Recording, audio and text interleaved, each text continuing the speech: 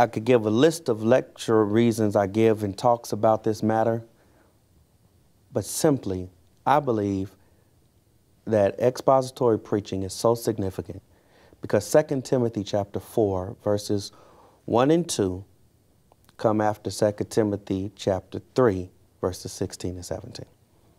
The end of 2 Timothy 3 says all scripture is breathed out by God and is profitable for teaching and rebuke and correction and instruction in righteousness.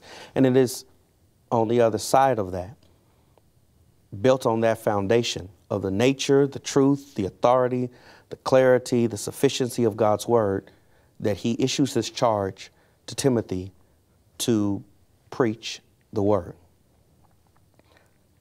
My conviction is that how a man preaches betrays his conviction about the Bible if the Bible is the Word of God.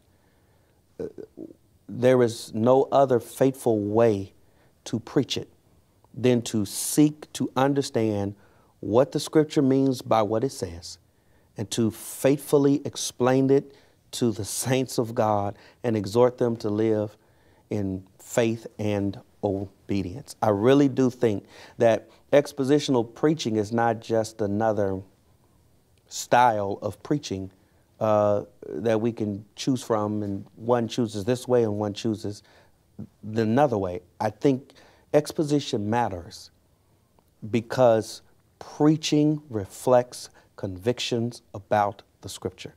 And I think that exposition is the most faithful way to let the Word of God speak for itself.